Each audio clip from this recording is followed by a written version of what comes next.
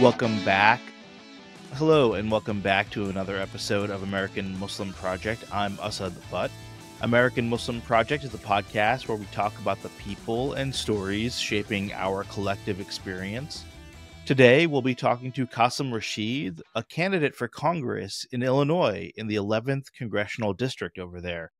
Qasim is no stranger to politics, having run for office a few times before. He's also an author, a notable activist, and an attorney. He's actually been on the show before. We had him on a couple of years ago to talk about his children's book called Hannah and the Ramadan Gift. I wanted him to rejoin American Muslim Project today to talk about what it's like for him running to be in Congress in the year 2024. Qasim, thanks for joining American Muslim Project. I think the first question is how is the campaign going? Thanks for having me. I said it's going great. We're building incredible momentum. We're hitting our targets. We're knocking doors like crazy, having outstanding conversations. And it's just reaffirming my belief that a people funded campaign that reaches the needs of working people in a meaningful and diverse and representative way is far more powerful than a corporate funded attack ad driven campaign. And, and that's what we're betting on. And that's what we hope will carry us across the finish line. Yeah. I, I think that your politics are very similar to my politics, um, and and so that's why you know I love having you on to talk about it. But maybe maybe a quick rundown on you know five or six key issues for you that you think the voters in your area are going to resonate with. Definitely. Well, I'm I'm running for U.S. Congress in the 11th district of Illinois. This is basically the collar counties or the suburbs of Chicago, a pretty blue district. So the primary on March 19th is the determinative election. I will never say the general election is easy, uh, but I will say it will be easier than this primary election, which is, of course, very difficult in and of itself.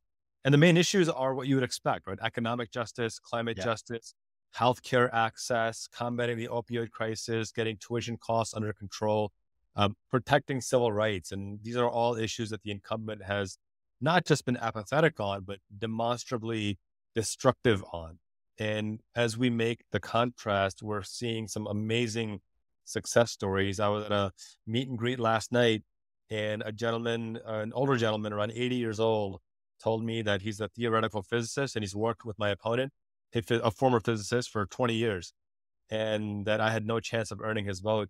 The uh, event ended with him writing me a donation check and asking me to come to his home for a meet and greet. So wow. Urge his friends to vote for that me. That is well. amazing. I mean, that's what it's all about, right? Like just getting yourself out there and that's and, it. and and making the appeal that you are the better candidate or the, the candidate for this moment. Right. Um that's right. How I, I noticed that you were posting on on social that um your uh your challengers don't show up to debates or one of them hasn't been coming or showing up and leaving early. What's that about? Yeah, the incumbent, a guy named Bill Foster, committed to three debates, then he backed out of all three of them. And then the one debate he showed up to so far, he skipped out midway and bounced like a bad check. And it's really, uh, I think, a testament to how problematic his record is. The bottom line is he wants voters to vote for a record that even he isn't willing to defend. Wow. And that's, there's just no two ways about it. And if you watch the first half of the debate where he was there, you could see him squirm and, uh, and get upset and get frustrated and not really answer the questions or answer any kind of coherent answer given the values of this district. And so our promise from day one has been to be transparent, to be accountable, to be unassailable. And I think our democracy is strengthened by showing up and letting voters scrutinize you 100%. He seemed to be taking a Donald Trump approach of let me just avoid debate altogether and hope that people vote for me based off of some mythology as opposed to the facts needed to protect our democracy. Yeah, I think for I think that's exactly right. I mean, it's it's so anti-democratic to yeah. not show up to debates, to not engage, to not defend your record. And I think, you know, it's probably also a testament to your debating skills and your uh eloquence as well right like i feel like you do you do a great job speaking for yourself your views but also challenging people i see this on social quite a bit with your videos and your commentary and whatnot like you uh um point out all the uh, the hypocrisies and differences not only in your opponents but you know uh, sure. pe- no, people no, I, across the world i appreciate the kind words i said look I, I think it comes down to recognizing that none of us are perfect. I'm certainly far from it. Uh, and when you do speak, you speak from a place of conviction and knowledge and experience. And, and when you have those things backing up your statements, you can speak with a lot more confidence. Sure. And, and the other beautiful thing about that is that when you are wrong, you say, "Oh, okay, I have no problem admitting I'm wrong. Let's improve and do better." I think that integrity is something that people uh, value and cherish. It's something we don't see enough in politics. And um, anytime I can find ways to improve myself and be clear and transparent about that, I think that builds trust as well. Totally. How has ethnicity and religion showed up in this um, campaign for you? I, I, think you know one of my favorite quotes by uh, one of my favorite sci-fi authors, Mary Robinette Kowal. She says that it's not diversity for the sake of diversity; it's representation for the sake of reality. And uh, a lot of what we're trying to accomplish is having meaningful representation in the halls of Congress. There's never been a Pakistani American elected to U.S. Congress in U.S. history. Yeah, we have um, a Democratic Party in Congress that is older than the average Republican in Congress. Uh, we are just as monolithic, nearly just as monolithic. There's more diversity among Democrats. I'll give them that, but not enough relative to the diversity of the Democratic Party. So, sure.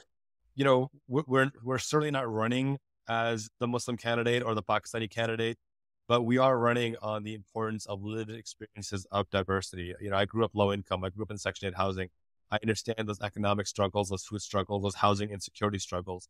And I'm able to craft my responses and my policies to reflect the needs of working people, whether they're immigrants, whether they're people of color, whether they're low income. And, and that's exciting because connecting with folks on that personal level uh, shows that we're connecting not just from an identity politics standpoint, but from a meaningful lived experience standpoint. Yeah. And again, people value that. It's been an extraordinarily productive way for us to run our campaign. And uh, I think one of the reasons we're building momentum is because people see I'm not here as an ego boost. I'm here because these are issues I deeply care about. I've worked on them intimately.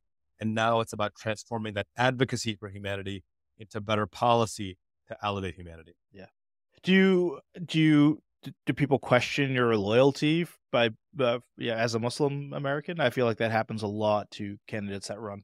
You know, so far it's actually been heartwarming the amount of support I've received. I, I put up a, a, a, Instagram and TikTok video a couple days ago because I am getting a whole bunch of emails and qu- questions from people asking about my theological view on things, and I had hmm. to put out a statement saying, "Look, I'm not running to be the imam of your mosque or the pastor of your church or the yeah. rabbi of your synagogue. Uh, the, the beauty of this country is separation of religion and state, and so whatever your religious moral standard is, I want to fight to make sure you can practice your religious moral standard, but that doesn't mean you have to impose your religious moral standard 100%. on other people. Yeah. And, and so far, that's actually been a really productive way for have this for us to have this conversation. Um, I'm I'm certainly not hiding the fact that I'm a practicing Muslim.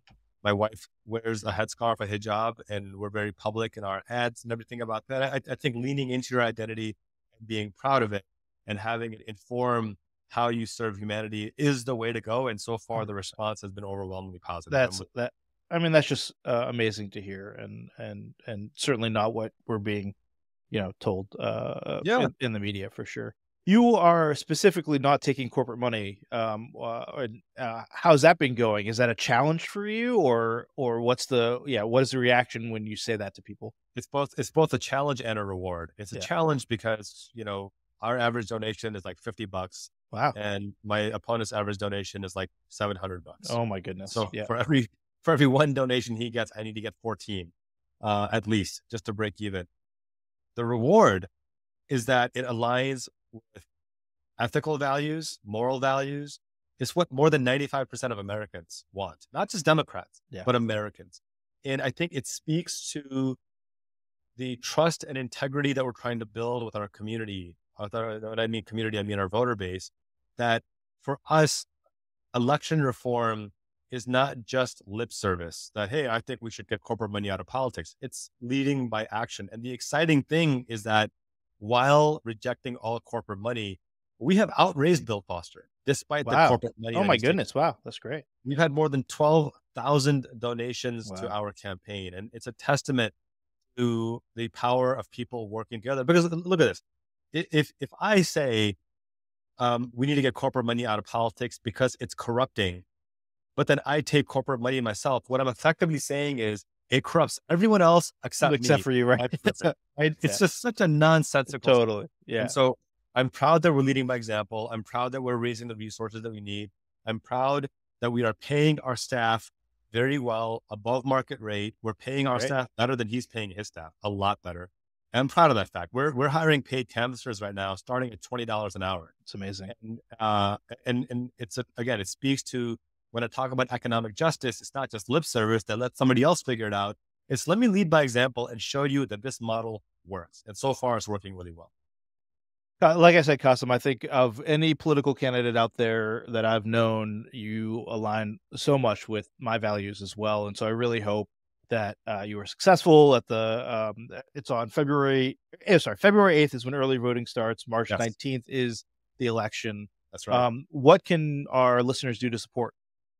Time, treasure, talent. If you have time to phone bank, uh, whether you live uh, here in the 11th district of Illinois or whether you live in Portland, where you are, Asad, or in LA or New York, if you can phone bank, we are phone banking every week. And we're not calling, you know, Republicans or MAGAs. We're calling pretty strong Democrats who vote in primary elections and just letting them know that, hey, there's a candidate who's people funded, who you know, believes in economic, social, and climate justice. He's from the district. Let's get him elected. That's one. Uh, treasurer, if you can contribute, whether it's a dollar or the maximum of 3,300 or anything in between, uh, throw some coin our way because at the end of the day, every dollar we invest, every dollar we spend is a reflection of the future that we want to see. And then the talent aspect of it. If you are a social media maven and you want to put together content for us, uh, if you want to host a meet and greet at your place, if you want to host an online Zoom fundraiser, reach out to us. Reach out to my uh, uh, contact at qasimrashid.com and we will follow up with you. Any one of those things makes a massive difference. And the more folks involved, the better. Amazing, Qasim Rashid. Thank you so much for joining American Muslim Project. We we wish you the best of luck. Thank you, Asad. Great to be here. We're going to take a quick break. When we come back, a cool new expo being run by our friends at Mommying While Muslim. This is American Muslim Project.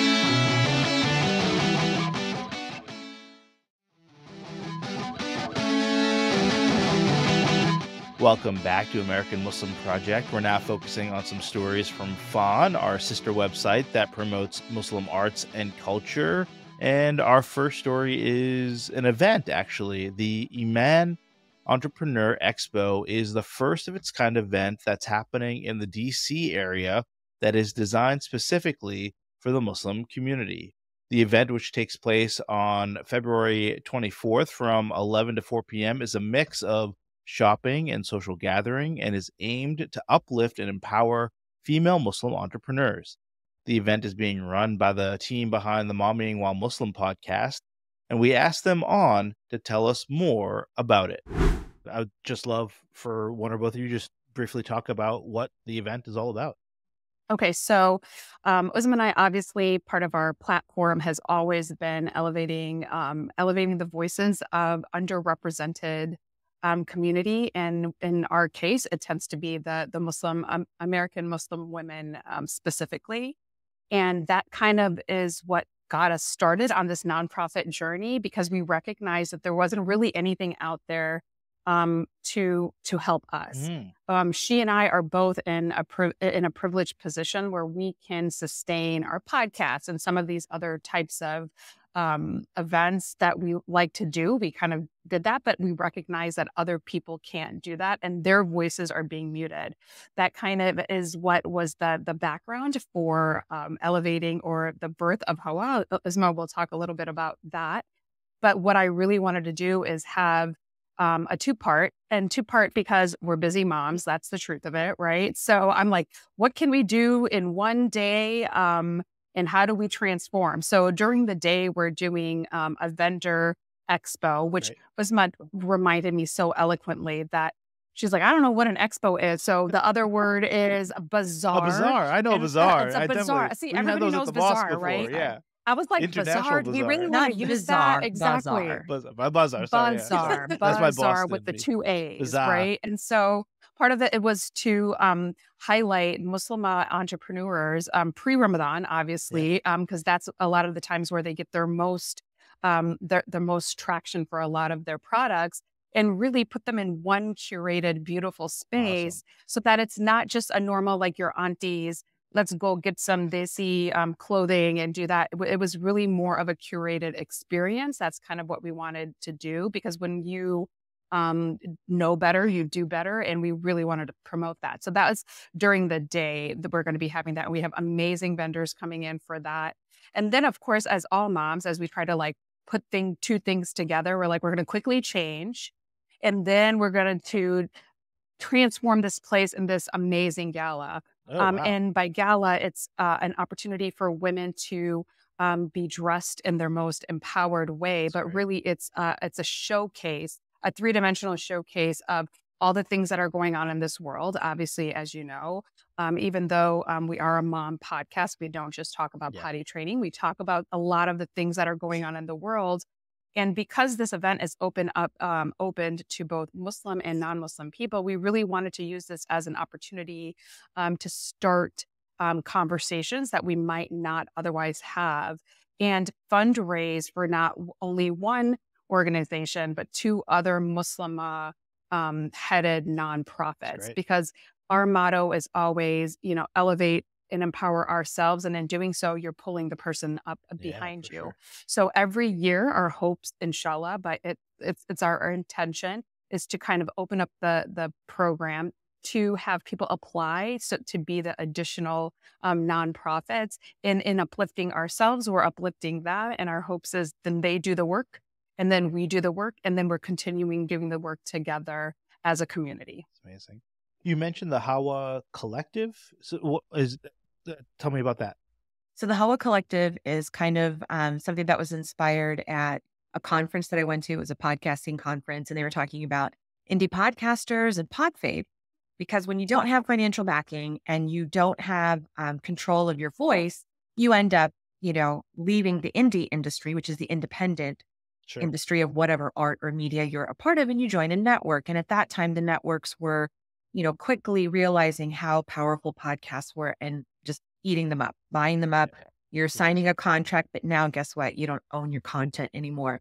And for us as women and as business owners, it's been really important to own our own work and to get paid fairly and treated fairly for our work. And that doesn't always happen to indie podcasters. Now, who does that put the most at risk? Those marginalized people, those people mm-hmm. who can't afford, you know, and the demographics of podcasts shows you who's listening and who's producing. Mm-hmm. And it is not people who look like me. It's not people who look like you. Um, and it's definitely not black and brown voices. So we wanted to make sure, you know, we could preserve that indie population of podcasters. And so it immediately, for some reason, I don't want, know why, I ended up texting Zaiba right there because I started crying. And it just, the word Hawa came to me which is our mother Eve. Um, because if you, Eve theory is something I'm very dedicated to. People hear me talking about it until they're exhausted Amazing, and will yeah. turn me off. But what Eve theory is, is a biological um, suggestion that we can trace all of our DNA back to Eve. So my mom always said, you know, Islam honors women and mothers in particular because like on the day of judgment you'll be called by you'll be known by your mother and i was like I'm pretty sure that's not what Islamic tradition says or is. But this to me is how I feel like God honors us is that we can trace ourselves back to our original mother. Sure, we probably can to our father too, but that um, history we think can take us back to Eve. And as far as genealogists know, it's like somewhere in the middle of Africa. So wherever she is, she has passed this on to us. She is also, in some languages, her name is the air that uplifts you. And so while we say a rising tide lifts all ships, you know, if you blow on something, you're trying to elevate it. So this is kind of indie podcasters, women in independent um, media of any kind. We're going to be trying to, like, when you make a fire, blow on it and make it get bigger and bigger. And that is our intention and our hope to help people stay in production and in business and keeping their voices out there is so critical they just need the support to continue doing it. And that's why the establishment of Hawa Collective as a nonprofit was really, really important so that we could then qualify for grants and, you know, awards and scholarships so that we can help um, not just monetize, but definitely support and uplift these up and coming podcasters. So this event is a is a brought to you by Hawa Collective and Yes. It's kind of Yes. introducing uh, Hawa Collective to the Oh, community. Like, great. hey, we're here. So all of you who have about doing a podcast, or maybe I want to do a rip, maybe I want to. It's like you know, enough of the maybes. You know, Yeah. you do or you don't. I think that's a Yoda quote, right? Do or do not. There is no try. But you know, like before this recording, we were talking about how there's a lot of Muslim podcasters. And when we started back in 2018, you know, I lost count, but there was something like Mhm. 63 female Muslim females podcasting or Wow. Muslim female identifying podcasters. Sure.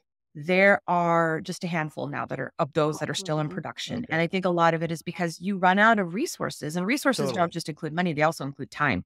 So if For we can sure. buy people more time, I think that would be um, one avenue of, you know, sustaining the longevity, preventing pod, pay, uh, pod fade. Yeah. Amazing. Yeah. Well, looking forward to the event. Can't wait to to hear how it went and see the pictures and all that kind of stuff. And uh, yeah, we'll definitely be promoting it here at uh, at uh, Rifelion. So thanks so much, both of you. Thank Thanks for having me. so much. And just a reminder, the Emaan Entrepreneur Expo takes place on February 24th from 11 to 4 p.m. We'll have links in the show notes on how to register. We'll be back after another short break. This is American Muslim Project.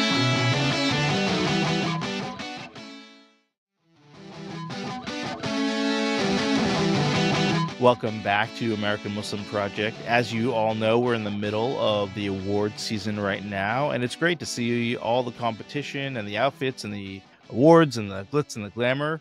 And while we are seeing the well deserved nominations and wins of several Muslim artists and entertainers, there still seems to be a lack of recognition from Muslim actors at the Emmys. We asked Mariam Ahmed, an American Muslim Project contributor, to share her thoughts on why that is. While Muslims are still significantly underrepresented in the entertainment industry, some have managed to receive recognition at the highest levels, including at the Emmys. Though this recognition is long overdue, it still deserves to be celebrated.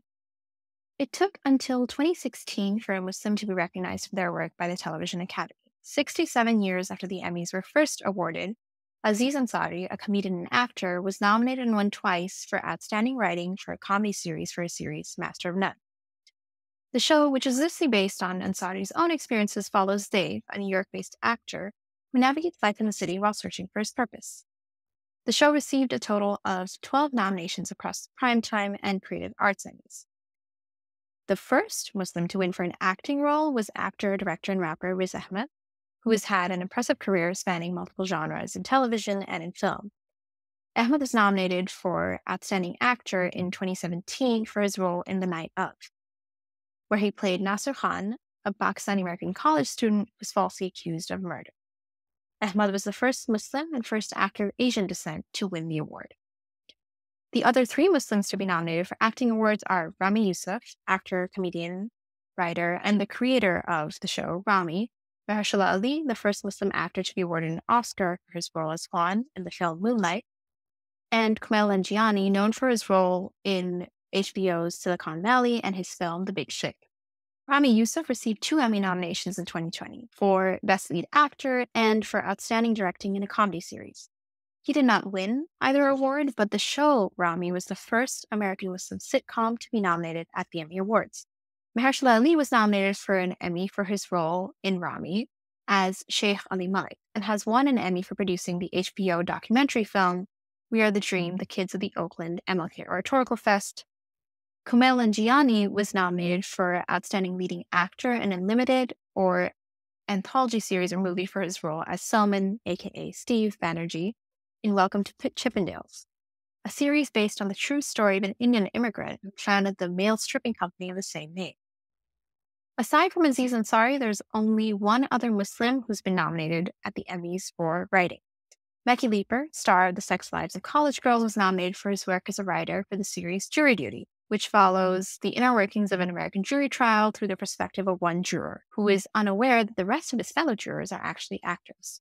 In total, there are only six Muslims to be recognized in acting and writing roles in the Primetime Emmys' 75 year history. All of these actors and writers are men, and three of them are of South Asian descent, which is not at all a reflection of the diversity of the Muslim community. which is the most diverse religious community in the world. According to a 2022 report from the USC Berg Inclusion Initiative, only 1.1% of speaking characters on television are Muslim. Only 30% of the Muslim characters on television are women. Although the past few years have brought more Muslim women on screen in mm-hmm. shows like Ms. Marvel in 2022 and We Are Lady Parts in 2021, there still are significant gaps in representation of Muslims on screen, and especially in nominations for the Emmys themselves. Crucially, there are also very few Muslims who have the tools or the funding to create stories about people like them in the first place, in which they can center Muslims on screen without the usual stereotypes and tropes we're used to seeing in the past decade. Just recently, the Netflix show starring Abu Bakr Ali as the first Arab Muslim lead in a superhero genre series was canceled after it had already filmed eight episodes. Batgirl, the DC movie that infamously became a tax write off, was directed by two Muslim men. Muslim characters and stories are still not regarded as deserving of a chance in the spotlight.